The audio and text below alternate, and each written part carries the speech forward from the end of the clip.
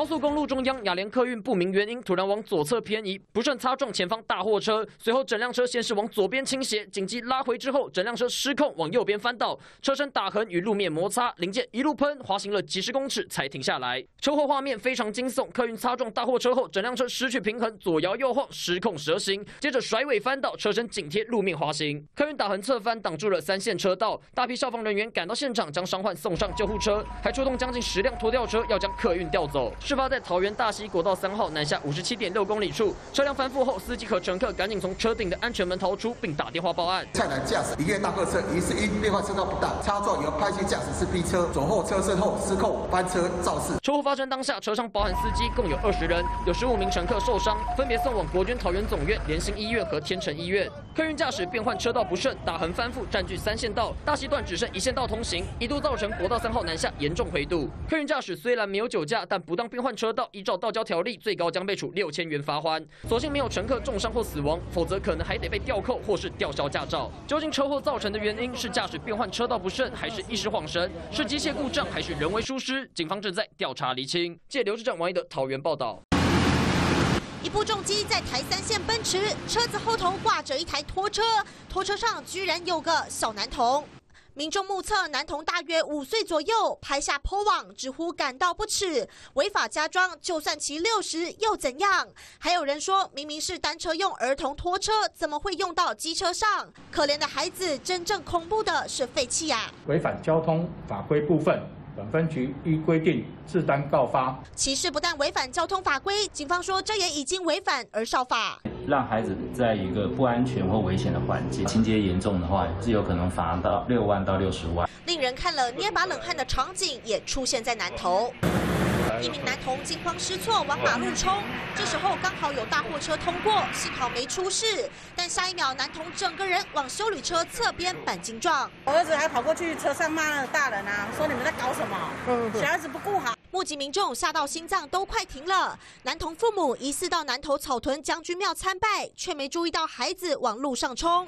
好在孩子没有受伤，否则后悔也来不及了。记者苗栗南头综合报道。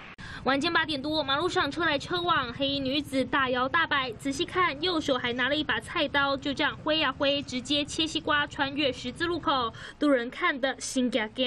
是有点恐怖，我觉得说他没事拿一个刀要做什么？如果有需要的话，可能会联络先通知警察。彰化园林中正路上，众多商家吃的、逛的都有，越晚越热闹，却出现女子持刀乱晃，杀气腾腾。而且附近民众说，她每次喝醉酒都要找特定男性朋友吵架，危险举动已经不是第一次。晚上那些半夜时常都有，这条路时常有，奇奇怪怪的人都有。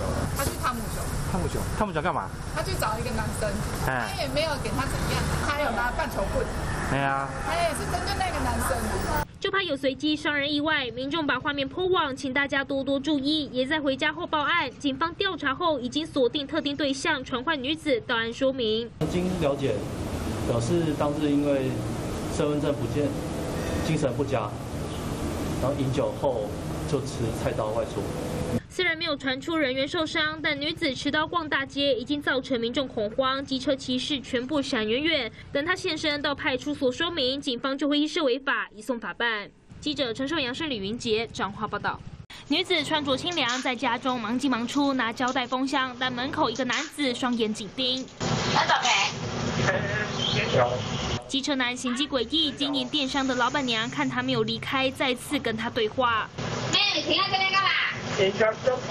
男子言辞超露骨，直说对方上围很丰满，老板娘也不是省油的灯，一把火上来破口大骂，还不离开吗？拿起铁棍就要追上去，男子才骑着车落荒而逃。地点在台中北区一处透天民宅前。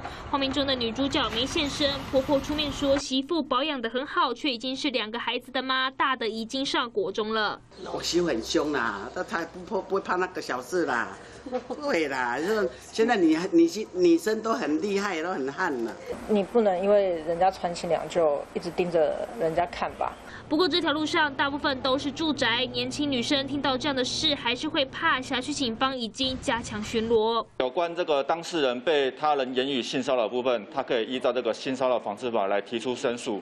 那这个罚则是罚一万以上十万以下的罚款。夏天穿着清凉，小可爱短裤本来也没什么，但男子嘴巴不干净，就是违反性骚扰防治法，恐怕得吃上罚款。记者黄湘峰、李云杰台中报道。